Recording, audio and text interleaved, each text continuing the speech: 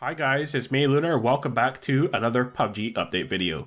The PTS is out right now and I'm going over the patch notes. Mostly the changes are what we already know so far and I've went over them, but ledge grabbing did make it in as well to this update. If you find this video useful, a like is appreciated. Let's look at the details then for the new features in this update. We have a new vehicle, the BRDM-2. The BRDM2 can only be called in as a special care package using the flare gun on all maps, and it replaces the armoured UAZ. Over waterways or terrain, this amphibious vehicle increases your options to navigate firefights and the battlegrounds themselves. It has a total HP of 2500 and its health is twice as much as the UAZ, while its gigantic sturdy wheels cannot be damaged. This powerful bulletproof vehicle can reduce incoming damage such as ammunition based assaults as well as grenades and red zone damage.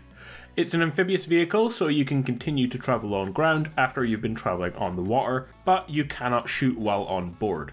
It has a capacity of 4 players and it has a top war speed of 22 km per hour with 102 on the road.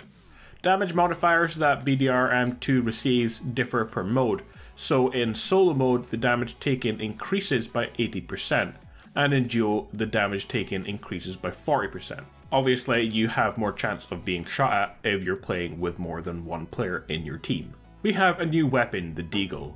The Deagle is a handgun that deals the strongest pistol damage with great muzzle velocity and will be spawning on all maps. The Deagle can deal 62 damage per shot and can take both the red dot and holographic sights, various magazines, and a laser sight that improves hipfire accuracy. With greater than average pistol damage and muzzle velocity comes harder, of course, controlled recoil. The Deagle has a single fire type that uses 45 ACP ammo, and the standard magazine fits 7 rounds, but it can be extended to 10 with the extended mag. Next, improved loot sorting. Loot is now more organized for player crates, vicinity loot, and care packages now, so loot should be easier to manage. All replace weapon skins. You can automatically replace the skin on a picked up weapon with your own one in the new option. You can toggle auto replace weapon skin options in the settings menu, and when toggled on, the weapon skin you pick up will have the skin replaced with your own weapon skin. If there is no skin to replace, the weapon skin of the picked up weapon will stay as it is. Next guys, we have ledge grabbing. Ledge grabbing allows you to take new paths by climbing up the edge of roofs, fences and obstacles up to 2.5 meters high and jump from buildings to building or container to container where you couldn't previously do that. Now the player can move to places they weren't able to reach before. Now you'll be able to implement new strategies of gameplay. You can activate ledge grabbing by either jumping or vaulting and then continuing to press the jump button or by pressing the jump button at the right time in mid-air. You can cancel the ledge grab while it's activated and fall to the ground by following the same method of cancelling the way that you cancel vaulting and climbing. Now there is one known issue with this, ledge grabbing right now incorrectly activates automatically after jumping, and that is an issue that will be fixed for the live update. It should only work if you press A for example on Xbox or by pressing A at the right time when mid-air, but it will automatically do it right now. Next, improved gas cans. Added strategic elements to the gas can. As soon as a gas can explodes, it will deal damage to all players in a radius around it. When the gas can is blown up, it deals damage in a radius around it as well, dealing more damage to those close by. To use, drop a gas can on the ground and damage it with bullets or throwable, which will cause it to explode and deal damage. Each gas can will now display individually in the inventory when players have more than one gas can to reduce confusion. You can also set up chain reactions of gas cans by shooting one and having another one next to it, but like I said, they do take up more inventory space now, so you will have to manage that. Next, they've added radio messages.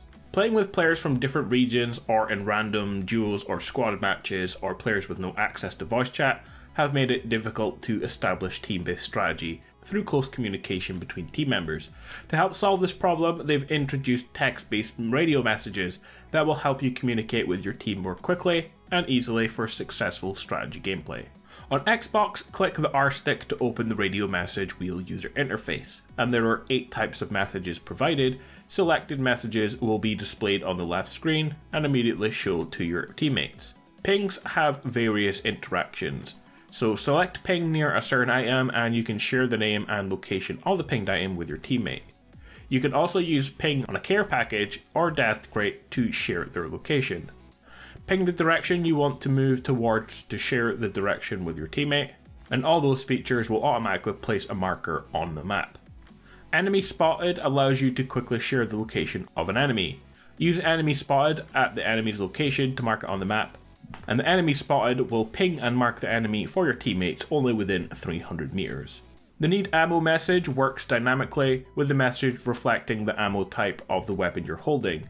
For example, if you select need ammo while holding the M416, the message sent to your teammates will be I need 556 ammo. You can mute radio messages from teammates individually by holding X in the team management menu. Kill distance has been added to center screen kill messages. The distance between you and an enemy you killed will be displayed alongside the standard kill message. Kill distance will only be shown to you if you kill an enemy over 100 meters away. This will appear only when you kill the enemy by yourself, and the down but not out kill message remains the same and won't show kill distance. Next, the featured map. There is no new change because the devs asked players on Twitter to vote for this and they decided to keep it as Erangel. So the featured map for this month is still the same. We have one auto equip attachment improvement the auto equip scope option will no longer be visible if the auto equip attachment option is toggled off.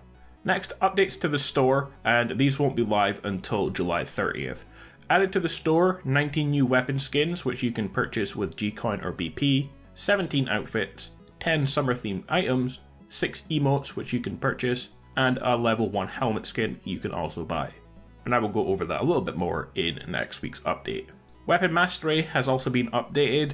You have a new emblem animation. For every 10 level ups, a new tier emblem animation will be displayed. The Deagle has been added to the Mastery tab. Improved the last match pop-up user interface, so the weapon icon displayed in the last match pop-up now varies for each player. The displayed weapon icon follows the weapon soaring order applied to the last match page. Also, you can now equip and unequip charms in game. User interface and user experience changes added a brightness option for each map. Brightness options are now changeable per map to allow players more choice with each map's unique visual characteristics. A new option allows you to adjust brightness for each map individually, and you can also use the existing option to adjust brightness of all maps together.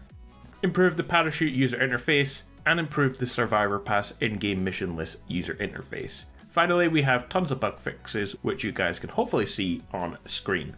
Guys, tons of new features for you to test right now on the PTS, and all the stuff will be added to the live servers, including all those cosmetics, in just one week's time on July 30th. Let me know what you think of all the changes in the comments. I'll be back very soon with more info on PUBG as we get it. Make sure to like and subscribe if you haven't done so already. Guys, have an awesome day, and I will see you all in the next one. Peace out.